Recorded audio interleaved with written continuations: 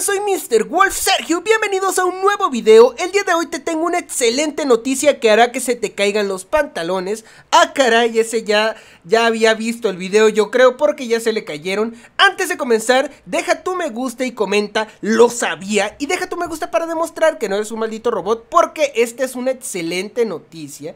Amigos, está sucediendo Está sucediendo, yo sabía que iba a ocurrir algo así yo sabía desde que se filtró lo de Dragon Ball Xenoverse 3 que estaba confirmado que iba a salir, ya sabía que Bandai Namco tarde o temprano, y más temprano que tarde, iba a hacer un anuncio con respecto a Dragon Ball Xenoverse 3.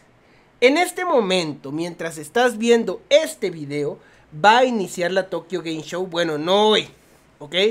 En los próximos días, yo diría que te esperes hasta el día 16 en la madrugada como a las 4 a.m., ¿ok? Que va a ser el evento donde vamos a poder ver eh, lo nuevo de Dragon Ball Kakarot y lo nuevo de Dragon Ball The Breakers. Acaba de ocurrir algo interesantísimo con respecto a Dragon Ball Xenoverse 2.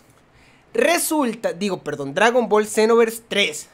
Resulta que hace unos días, muy poquitos días, como unos dos o tres días, acaban de actualizar el sitio de Dragon Ball Xenoverse 3. ¿Ok? Si no sabes, eh, registraron el dominio de Dragon Ball Xenoverse 3, obviamente porque quieren tenerlo.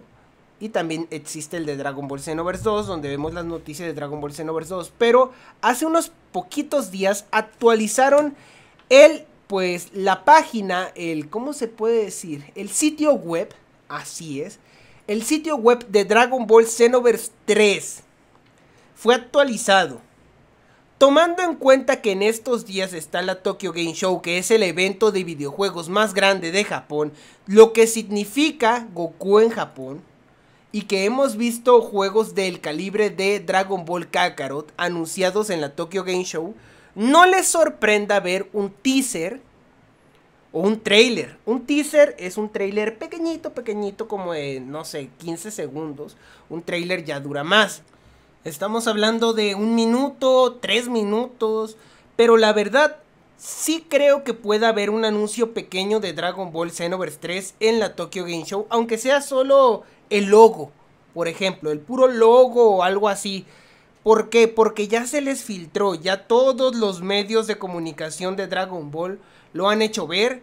El problema realmente fue ese, que esos medios son seguidos también por Bandai Namco, como por ejemplo lo es DB Hype, Burkol, muchos de ellos son seguidos por cuentas verificadas de Bandai Namco, entonces ya saben que todo el mundo sabe, es obvio que ya pues todo el mundo está enterado de que está confirmado el Xenoverse 3.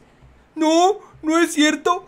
Bandai Namco ya dijo que nunca iba a hacer Dragon Ball Xenoverse 3. Oh, hay gente todavía, a pesar de que ya se confirmó. Pero bueno. Em, muchos todavía no creen esto, así que bueno, sí estaría bien de parte de Dragon Ball Xenoverse 3 ya sacar el tráiler. Esta es una de las señales. Pasó lo mismo cuando iban a, anunciar em, otros videojuegos como Dragon Ball Xenoverse 2. Pasó lo mismo se actualizó la página oficial, el sitio web oficial, fue cuando se actualizó y lo vimos. Entonces es interesante pensar, es bonito pensar, y diría yo, que es eh, muy pues impresionante pensar que ya vamos a tener un pequeño avance de Dragon Ball Xenoverse 3. No creo que haya más allá de una cinemática, nada, o sea, no creo que vaya a haber gameplay, no creo, si, acaso el logo y una cinemática, y ya. Pero si nos enseñan una novedad chida, como por ejemplo una nueva transformación, que es lo que creo que podrían anunciar, em, pues estaría muy bien, la verdad. Estaría muy, muy bien.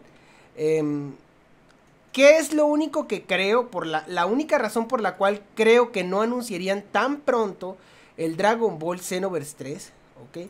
La única razón por la cual creo que, por, que no se atreverían a anunciarlo sería porque van a sacar contenido para el Xenoverse 2 y mucha gente tiene la mentalidad de que si sale un nuevo DLC para Dragon Ball Xenoverse 2, pero ya va a salir el Xenoverse 3, ¿para qué me compro el DLC?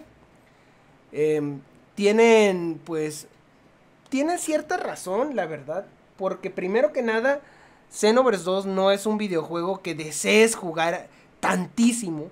O sea, si mañana anuncian un DLC de Xenoverse 2 y ya está listo, y al mismo tiempo hay uno de Dragon Ball Kakarot, me voy con Kakarot y que tarde lo que tenga que tardar porque sé que Kakarot me va a dar un gran contenido. Xenoverse 2, un DLC de Xenoverse 2 no emociona porque no nos trae nada nuevo, nada bueno, diría yo. En cambio, si en Xenoverse 3 hacen las cosas bien, seguramente la gente sí se va a emocionar, sí se va a alegrar, sí se va a poner bien loco cuando vea lo que todo el mundo quería, un DLC de su juego favorito. En el caso de Xenoverse 2 los DLC son bastante malos, no te hacen querer comprarlos en la gran mayoría de los casos. Y cuando los llegas a comprar, casi siempre quedas decepcionado por la cantidad tan pequeña de contenido que te dan y de horas de, diversión también. Y lo peor es que para disfrutar mucho de un DLC de Dragon Ball Xenoverse 2, obligatoriamente tienes que jugar online.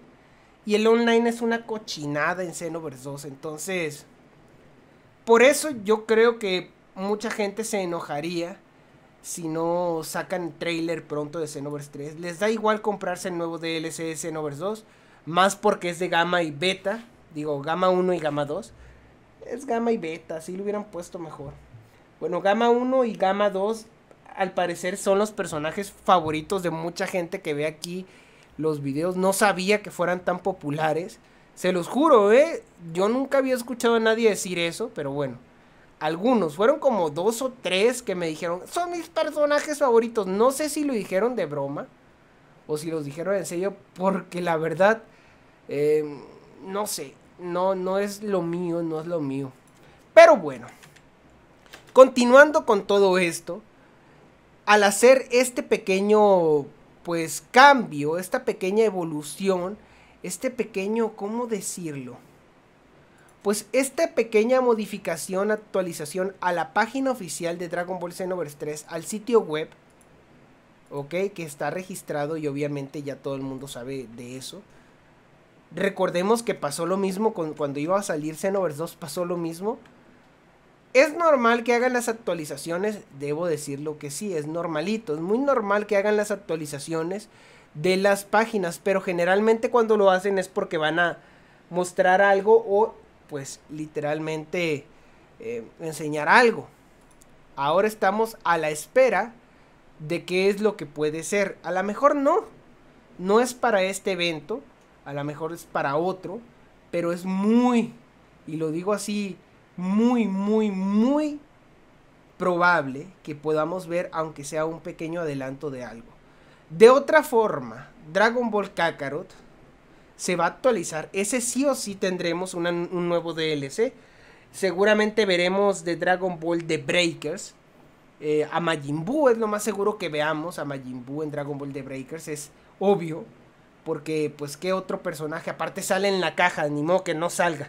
Entonces, Majin Buu en Dragon Ball The Breakers, ¿cómo va a ser? Seguramente lo veremos. Pero creo que lo que se va a llevar las palmas aquí será Dragon Ball Kakarot. No decepcionan, ¿eh?